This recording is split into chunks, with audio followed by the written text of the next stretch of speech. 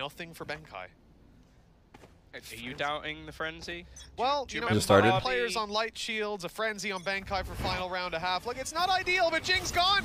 He's sending it again. The reveal's huge. Wow, that's what he wanted to do last time. has been teased Dude, oh my. God. And finally, Paper Rex get the That is so success out of impressive for him to land up there perfectly as well. Now those disadvantages.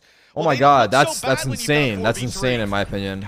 Was gorgeous. As you said, they attempted it a couple of times. This is the one time. Satchel's onto the ledge, reveal comes in.